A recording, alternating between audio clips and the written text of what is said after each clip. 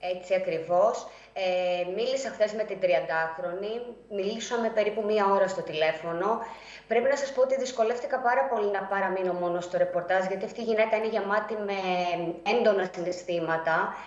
Ε, είναι ευχαριστημένη από την τροπή που πήρε η υπόθεση νομικά. Παρ' όλα αυτά είναι σε πολύ άσχημη ψυχολογική κατάσταση ε, διότι τα τελευταία τρία χρόνια η ζωή της έχει αλλάξει. Μπαίνει συνέχεια να βρει πράγματα που μπορεί να την αφορούν στο διαδίκτυο, για βίντεο και φωτογραφίες μιλάω, και μας έχει πει πολύ όμορφα πράγματα καρδιάς για το πώς αισθάνεται μια γυναίκα που αγάπησε, μια γυναίκα που εμπιστεύτηκε έναν άνθρωπο ε, και πώς περιμένει από εδώ και πέρα να εξελιχθούν τα πράγματα. Ωραία. Πάμε να την ακούσουμε. Βεβαίως. Είμαι ικανοποιημένη με την τροπή που πήρε η υπόθεση και μετανιώνω που δεν έγινε όλο αυτό νωρίτερα. Απλά ο φόβος για τον διασυρμό με έκανε να κάνω πίσω. Δυστυχώς υπάρχουν τώρα άνθρωποι που ψάχνουν το βίντεο και site που ανταλλάσσουν πληροφορίες και link από τα βίντεό μου που υπάρχουν ακόμα ύστερα από αναδημοσιεύσεις.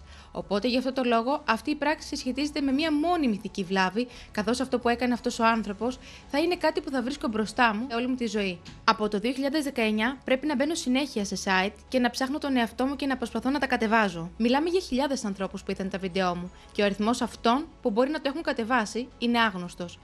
Οπότε είμαι ικανοποιημένη, αλλά με λυπεί το γεγονός ότι η δική μου υπόθεση θα δικαστεί σαν πλημέλημα, ενώ οι υπόλοιπες υποθέσεις σαν κακούργημα. Η γυναίκα το στηρίζει δημοσίως. Πώς αισθάνεσαι βλέποντας ότι συνεχίζει κανονικά τη ζωή του, Θεωρώ ο καθένας είναι υπεύθυνο για τις επιλογές του. Είναι μια γυναίκα γύρω στα 35. Είχε ενημερωθεί πλήρως σχετικά με τις πράξεις του ανθρώπου που ήθελε να παντρευτεί και τον γνώριζε μόνο 15 ημέρες. Και παρόλα αυτά επέλεξε να τον παντρευτεί και να μείνει δίπλα του σε όλα αυτά. Ο κάθε άνθρωπος έχει τις δικές του ηθικές αξίες. Σαν γυναίκα πάντως με προσβάλλει αυτή η στάση.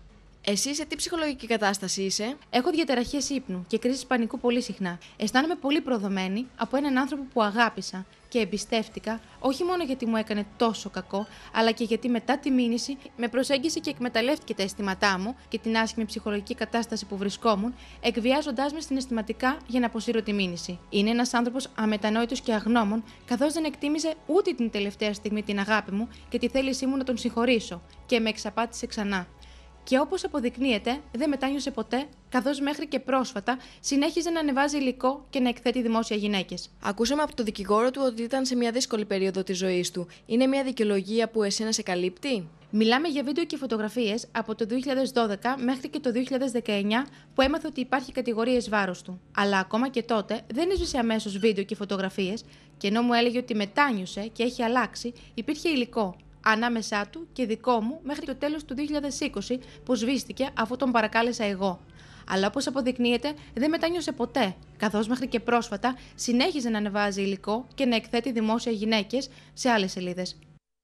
Είναι πρώτη φορά που ακούμε την. Ε, καλημέρα, Βαγγέλη μου. Καλημέρα. Που ακούμε την ε, πρώτη καταγγέλουσα, την 30χρονη, που να πούμε η υπόθεσή της, να θυμίσουμε, έχει πάει σε δικαιοσύνη με πλημαλιμετικό χαρακτήρα. Έχει πάει αναβολή η δίκη. Που και θα μιλάει γίνει- για την σύντροφο του Στάθη Παναγιωτόπουλου. Πέρα-